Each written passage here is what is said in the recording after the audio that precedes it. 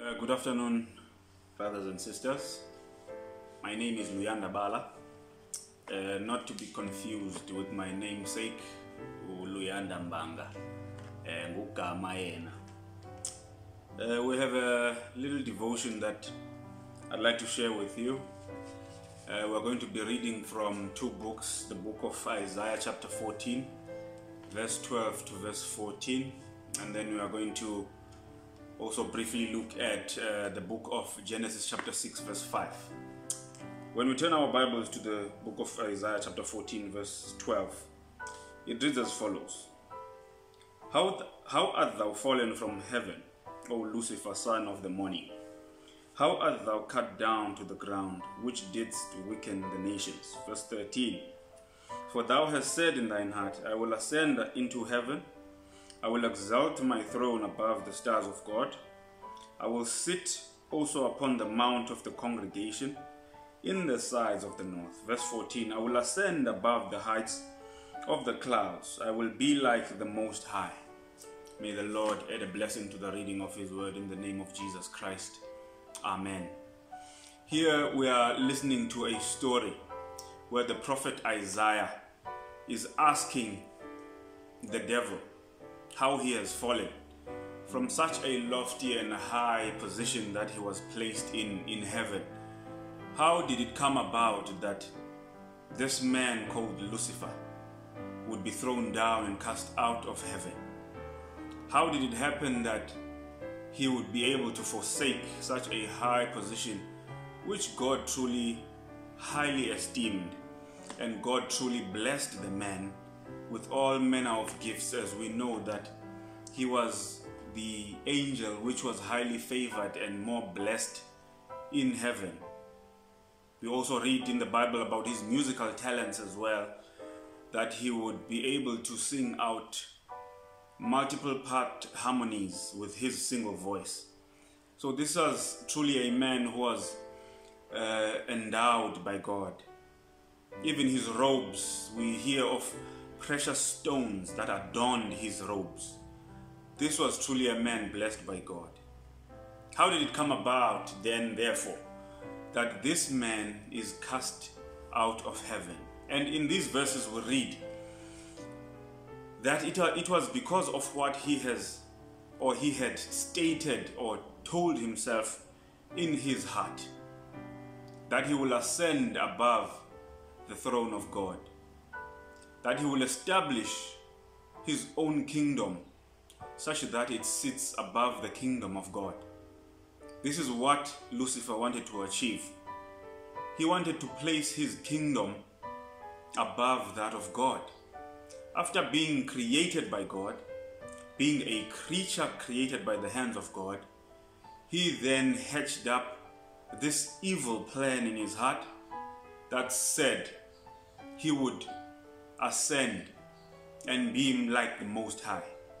He is not proposing anything new when we read these verses that he will add to this kingdom of God. Instead, he says, I want my kingdom to be like the kingdom of the Most High. The only difference in his kingdom is the intention because he now no longer wanted to bring glory to God. Instead, he wanted all the glory to come to himself.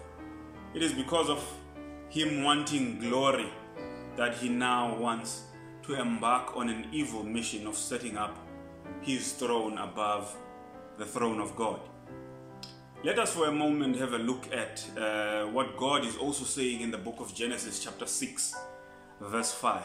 And it says, I will paraphrase, that when God had looked upon the earth, this is now before the flood, God saw that the thoughts and imaginations of men were evil continually. In other words, everything that man would think of, everything that man would imagine was just evil continually. And as the verses go, God says he regretted ever creating man. He repented within himself for creating a man that would now want to do evil all the days of his life. And in, in, in, in, verse 11 of uh, the book of, uh, rather, chapter 11 of the book of Genesis, we see God bringing about uh, the flood in the later chapters that follow. What is mind blowing about these texts that we've just read? It is not specifically or particularly focusing at actions that the Israelites embarked upon in the book of Genesis. And it is not particularly focusing on the actions of the devil in the book of Isaiah, chapter 14. We are looking here, God is taking us through how he views the thoughts of men, how he viewed the thoughts of Lucifer himself, because we all know we are all sitting here in the midst of the coronavirus, this side of heaven. We are all here knowing for a fact that the devil never actually had an opportunity to set up his throne above that of God. But yet he was cast out of heaven. I'm bringing it to you that God does not wait for us to bring our plans and our thoughts into action before he acts against them. To God, this simply means that he views our thoughts as if they were actions already. Whatever evil plan that we are able to hatch up in our minds and entertain, in other words, these plans go beyond just being mere temptations, but it is plans that we entertain, it is thoughts that we, we, we incubate in our minds. It is thoughts that we allow to fester. And then God sees the progression of these thoughts. And then God wants to put an end to these evil plans that we have. God counts every thought, every imagination in our mind as an action. God counts everything that we plan, everything that we want to do, whether it is good or it is bad, as an action as well. We all know, as I've stated, that Lucifer did not get an opportunity to set his throne above the throne of God, but it was for his thoughts that he was kicked out of heaven. I would like to propose to you, brothers and sisters, that we guard the avenues of our hearts, we guard the avenues of our minds. We all know that human beings, we are predominantly creatures of our own environments. The circumstances we place ourselves in, the books that we read, uh, the programs that we watch on the television, all those mold our thoughts and our imaginations. Now, it is this environment that allows evil to fester and be incubated. And if we place ourselves continually around evil influences, then our thoughts will be evil continually. And this the Lord has a problem with. We need to guard the avenues of our hearts and minds.